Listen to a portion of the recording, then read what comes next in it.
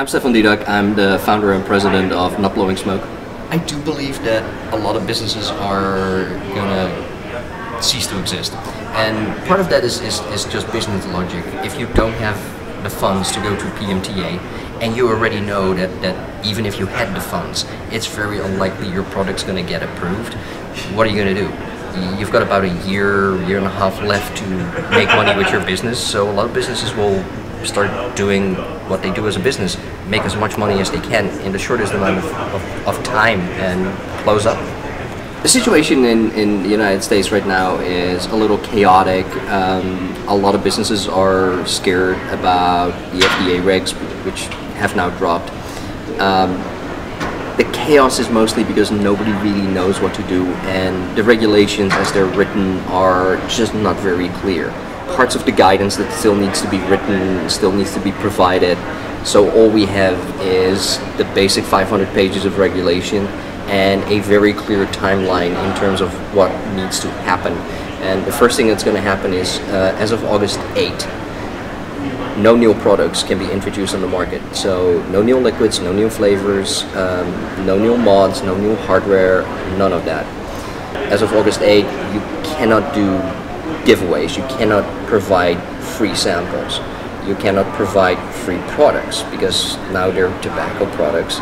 And this is going to impact a lot of the events. And what we'll be seeing after August 8 is possibly a, a radical change from the way things have been. I, I, think most of the professional companies are aware, I mean, all of the advocates are aware. Um, I do run into a lot of companies who know that the deeming regulations have now been officially published, but they still don't take it seriously enough. There, there's there's companies who think that they can get their products through the PMTA process. Um, there's just no way those products will get through PMTA because nobody can afford it. It's going to be anywhere between at at bare minimum $330,000 just for the hours that the FDA needs. After that, all the studies, the documentation, uh, the backup material, um, the paperwork, the regulatory attorneys, uh, the studies by child psychologists. Uh, we're looking at, at several million dollars per PMTA per SKU. The Cole-Bishop Amendment is an amendment that is added to an agricultural spending bill and it basically provides a predicate date change. Um, a predicate date uh, is also often referred to as the grandfather date.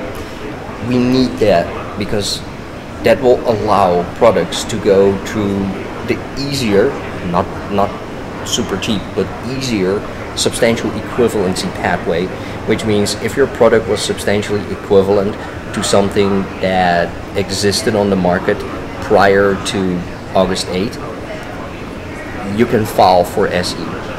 However, the date is currently set at February 2007. None of the products we're using today are substantially equivalent to whatever vapor product existed at February 2007 and earlier.